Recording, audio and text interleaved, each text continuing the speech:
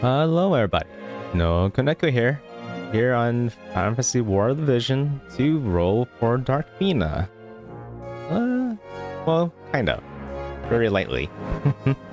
um, let's go ahead and start with the three, four tickets I have, and uh, I kind of talked about her while I'm kind of rolling, and why I'm just kind of rolling a little bit for her, and not really trying to secure her. So, uh, first off, I would like to say that she's a really, really strong character. she's going to be pretty meta-defining, kind of. Uh, you almost say that she's very comparable to Dark, uh, not Dark Fina. Yeah, she is Dark Fina. She's very comparable to um, Black Rose Helena. That's the one character probably people gonna compare her the most. While Black Rose is kind of um, more of a heavy hitter and more of a pretty strong healer, right? Uh, Dark Fina is more gonna be more like status oriented and uh, more tanky than Dark Black Rose Helena is. Wow, I'm gonna get those two confused quite a bit. Um, okay. So looks like I'm not lucky there. Um, this is almost kind of like gonna be a little bit YOLO rolling. What I really actually need more is the uh the prism tickets. So that's kind of the reason why I'm power planning just roll up to step three here and then stopping. Since obviously getting step two gives me the prisms and um step three is free. So let's go ahead and do that. So the reason why I'm not really too crazy about securing her is because he's a uh wow that's some that's gonna be some really lucky roll right here if i get her here that'd be really crazy but i'm not too crazy about securing her right now because one she's not limited and two we're about to probably hit you know a bunch of limited characters coming out soon. So i'm more worry more worry about securing limited characters than the non-limited characters and non-limited characters kind of are easier to um easier to obtain down the road. I say that but there will be cases where some characters might be kind of more more hard to grab like for me i never got king mont even though i have all the shards and everything ready to work on him uh to get into 120 but um, most other of the other non-limited characters I have is not him. So it really depends how how how much you really want her. You really want her that, that go for it, right? Even you want her now. But if you don't mind getting her along down the road, then yeah, you could probably just kind of play the long game. Let's go ahead and do the second one. So the reason why uh, she's really strong and more status oriented, more like kind of tanky, is one of having re-raise.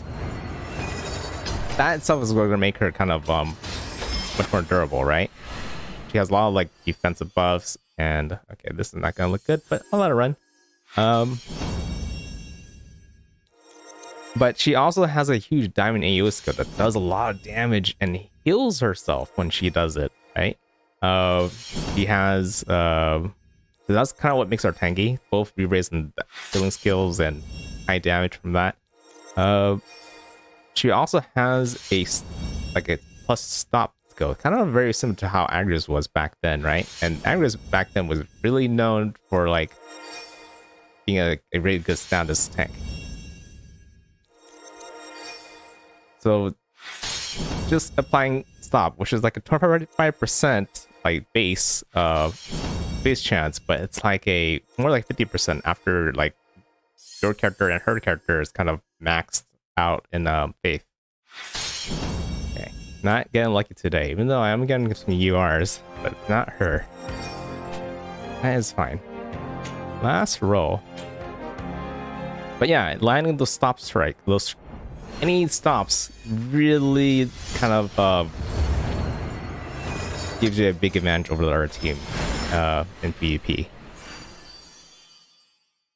Yeah, I guess I guess the other thing that might be kind of big is uh the one character that kind of would mess up uh, mage characters is Celes, right? And she, because of her Winter Blade, which blocks a bunch of magic attack, and Dark Fina has an attack that will kind of nullify that. So you'll be okay against against her.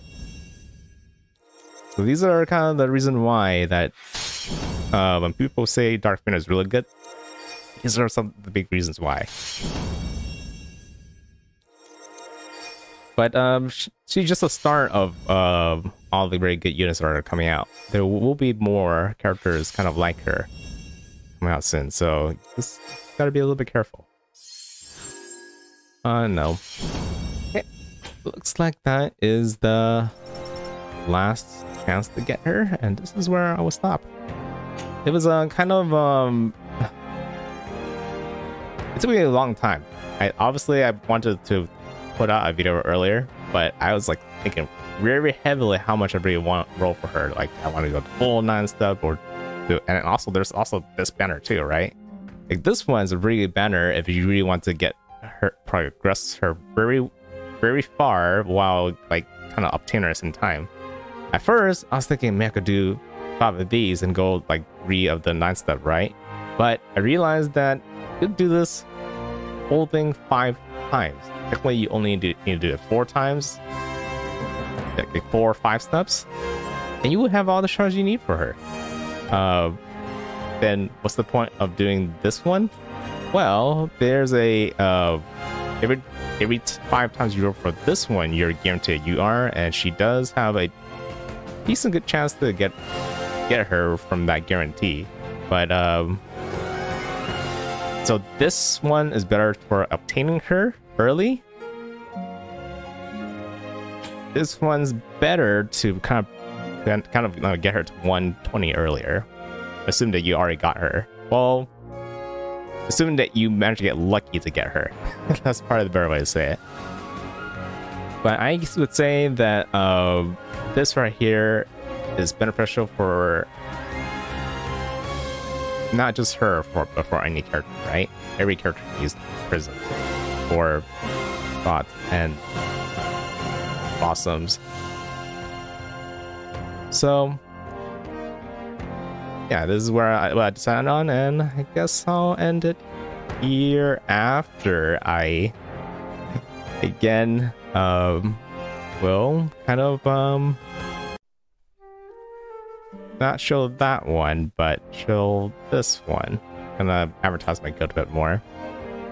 So again, we are trying to um, get our guild to climb higher, and yes, we have. I think we have been winning most of our guild battles. We win more than we lose.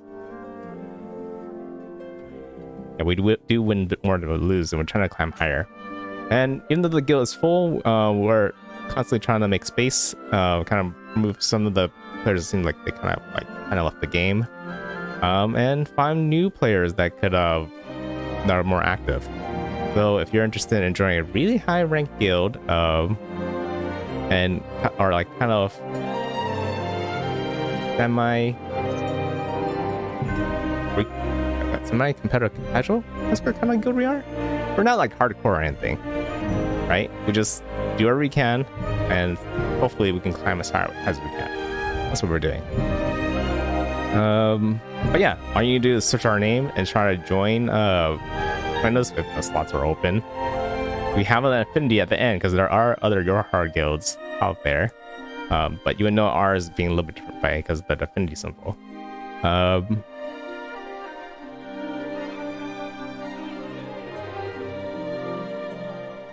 but if we're really full like this and you can't find us, then join our Discord and we'll we'll make sure we'll try to get space for you.